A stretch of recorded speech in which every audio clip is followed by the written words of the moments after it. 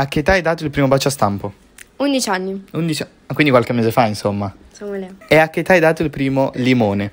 12 anni. Do- Ma no, sei troppo piccola. No, stai zitto che tu a 11 anni ti andavi a limonare tipo in piazza. No, stacca, stacca.